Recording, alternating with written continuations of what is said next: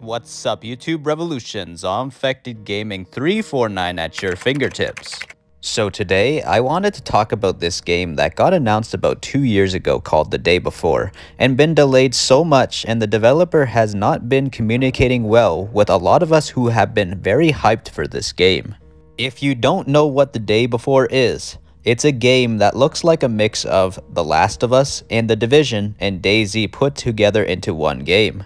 Recently, the day before developer known as Fntastic had made a delay from March 1st to November 10th because of some trademark issue. It's a very confusing topic. I actually haven't been following up on this game lately because all I've been hearing is bad news saying the game is a scam and possibly doesn't even exist, so very confusing stuff. I don't want to hate on the day before because these are games that I enjoy. Massive open world zombie apocalypse survival games. And uh, when I first heard about this game, I was very hyped. But once I heard the game get delay after delay, I stopped listening to the news about the game and started to set my expectations lower for this game, especially hearing the bad news over the past year with this game. But ever since I heard the recent most bad news, this brought this to my attention. And since the day before has major The Last of Us vibes, and Naughty Dog being super hard at work on an ambitious online standalone Last of Us title, it's been brought to my attention that the Last of Us Online Factions 2 game could potentially bury the day before since the rumors are that Naughty Dog could make this game a fully open world PvEVP type game similar to The Division. It's also said to have a massive story narrative behind the game, and possibly have a free-to-play battle royale, but also many many more game modes like the original The Last of Us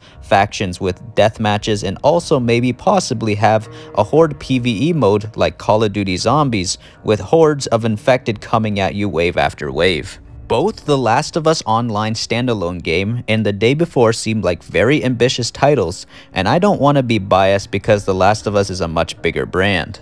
But let's face it, what if The Day Before is very successful at launch on November 10th, and it actually delivers and turns out to be really fun? But then again, The Last of Us Factions 2 will be right around the corner after The Day Before, either releasing by the end of 2023 or sometime in early to mid, maybe 2024, somewhere around there.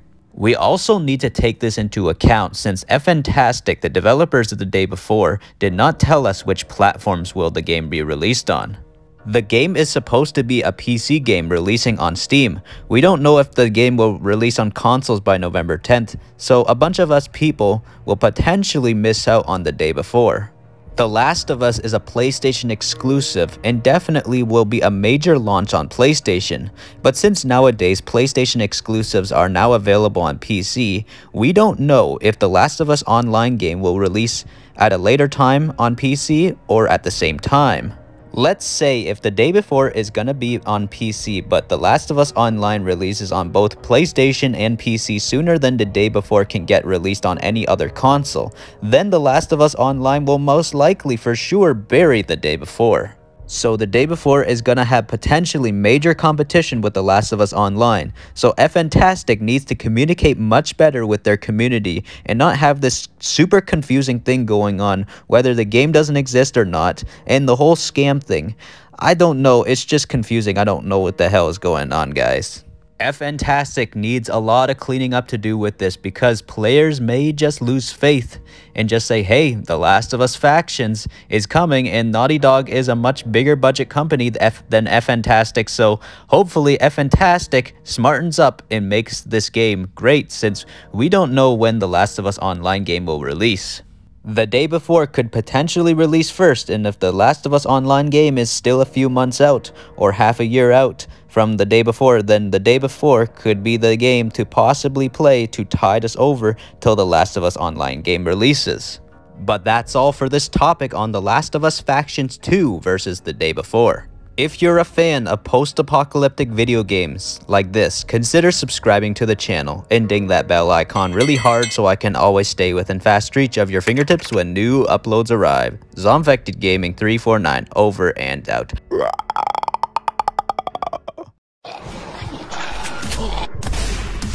Revolution.